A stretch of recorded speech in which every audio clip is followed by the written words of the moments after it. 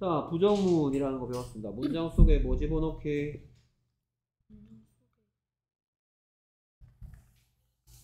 비동 비동사 넣으면 부정문이 된대요. 아이 나치요 낫을 집어넣으면 부정문이죠.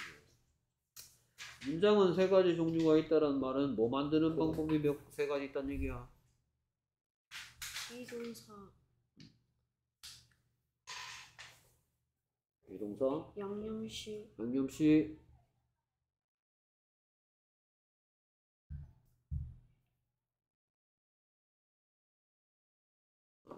음,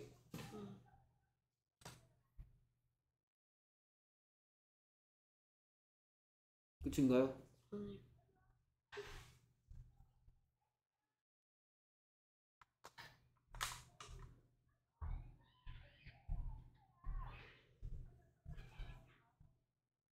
어, 비동사. 그래서 상황 am, is, are나 was, were가 들어가 있는 문장. 또 아, 하다시 하다시. 그다음 또 양념시 양념시 중에 알고 있는 거 기억나는 거 얘기해 볼까요? 뭐뭐 할 수 있다. can도 있고. may may 뭐뭐 해도 되니? 뭐뭐 해도 된다. 뭐뭐일지도. 모른다. should의 뜻은 뭐였더라? 뭐뭐 해야만 하는 그렇죠. 그 다음에 뭐뭐 할 것이다 빠뜨렸네. where will 이런 것들을 보고 양념시 나중에 조동사라고 배울 거라 이거에 따라서 not을 넣는 방법도 각각 달라진다. 묻는 방법도 각각 달라지고요. 자 그래서 그 방 안에 in the room. In the room이니까 내 친구들이 그 방 안에 있습니다 라는 표현은 my friends are in the room. My friends are in the room. 그러니까? 그러면 어, 너의 친구들은 그 방 안에 있니? 라고 묻고 싶다면? Are your friends in the room Are your friends in the room? 이라고 물어봤고 그 다음에 내 친구들은 그 방 안에 없다 라는 대답이었다면 my friends aren't aren't in the room 그렇죠 지금 My friends are in the room Are your friends in the room? My friends aren't in the room은 전부 다 문장이죠 누가 다죠 누가 다 만드는 세 가지 방법 중에서 뭐예요?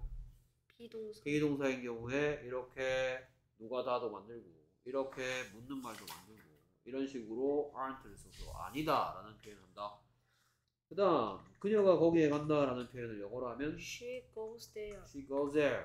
오케이. 그러면 그녀가 거기에 갑니까? 라고 묻고 싶다면 does she go there She go there. 만약에 그녀가 거기에 가지 않는다 라는 표현이라면 she doesn't go there She doesn't go there. 그래서 이번에 she goes there, does she go there, she doesn't go there는 누가 다 만드는 세 가지 방법 중에 하다시 doesn't 하다시 does니까 이런 식으로 어떻다, 어떻니, 어떻지 않다 표현을 하는 거고요. 그 다음 나는 수영할 수 있다는 I can swim I can swim. 너는 수영할 수 있니? 라고 묻고 싶다면 can you swim Can you swim? 그 다음에 이렇게 Can you swim이라고 물어봤을 때 못한다 라고 얘기하고 싶으면 I can't swim I can't swim. 그래서 I can swim, Can you swim, I can't swim은 전부 다 누가 다 만드는 방법이 똑같죠? 네. 그 중에서 뭡니까? 양념시 can 그 다음에 will not의 줄임말은 뭐다? want want.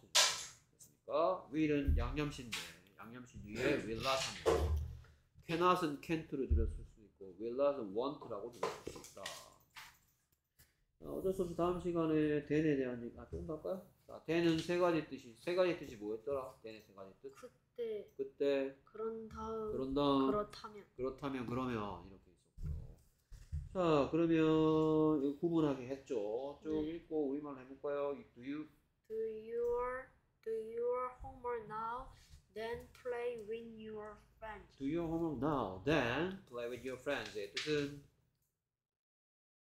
너는 지금 숙제를 해라 그렇죠. 너의 숙제를 지금 해라. 그런 다음 그런 다음, 그런 다음 친구들과 놀아 그렇죠. 그런 다음에 then play with your friend. 여기에 then은 그런 다음, 숙제한 다음이라는 뜻이 제일 잘 어울리고요. 그 다음 거 쭉 읽어볼까요? do you like him then go and talk to him Talk to him. 다 talk to him you like him? Then go and talk to him의 뜻은 너는 그를 좋아하니 넌 좋아하니 그를. 그러면 그러면 가서 그에게 말을 걸어 걸어봐라. 이번에 then은 그렇다면 만약 네가 그를 좋아한다면 가서 말 좀 걸어봐. 그러면이 제일 잘 어울리고요. 그다음 계속해서 I was very tired then. I was very tired then. 뜻은 나는 매우 피곤. 그때 그렇죠. 나는 매우 피곤했어. 그때 이번에는 세 가지 뜻 중에 그때가 제일 잘 어울리네요. 오케이 깔끔하게 끝났네요. 잘했습니다.